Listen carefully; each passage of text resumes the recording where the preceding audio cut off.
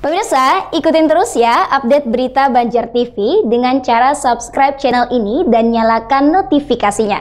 Oh ya, like juga video-videonya, komen, and share. Terima kasih.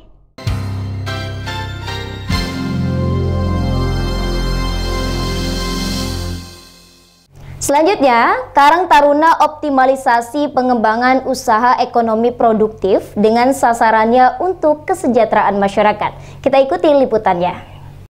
Pengurus dan anggota Karang Taruna seprovinsi Kalimantan Selatan bakal diberikan materi optimalisasi pengembangan usaha ekonomi produktif yang sasarannya untuk kesejahteraan masyarakat. Adapun jenis usaha ekonomi produktif tergantung pada daerah masing-masing seperti Tapin dan Balangan jenis usahanya kebun karet. Untuk Kabupaten Banjar pengembangan usahanya dari sektor pariwisata. Hal tersebut seperti disampaikan Ketua Karang Taruna Kalimantan Selatan Irwansah di sela rapat kerja Karang Taruna yang ketujuh. Optimalisasi sebetulnya uh, peran daripada web usaha ekonomis produktif Karang Taruna. Jenis usahanya apa aja nanti? Ya jenis usahanya ini tergantung nanti di daerah masing-masing. Hmm. Kalau misalnya di apa di Tapin itu nanti ada kebun karet. Hmm. Kemudian di Balangan juga di Tapin itu ada perikanan hmm. dan pertanian.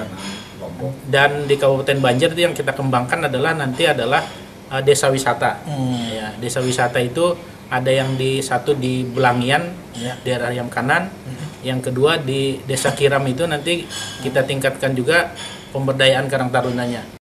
Selain membahas pengembangan usaha ekonomi kreatif, rapat kerja ini juga mengagendakan pembahasan kemah bakti wisata ke-31 yang rencananya akan diselenggarakan di Kabupaten Hulu Sungai Utara.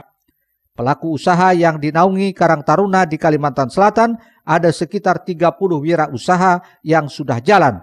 Untuk itu Karang Taruna dan Dinas Sosial akan duduk bersama guna mengoptimalkan usaha ekonomi produktif ini supaya ke depan bisa dikembangkan.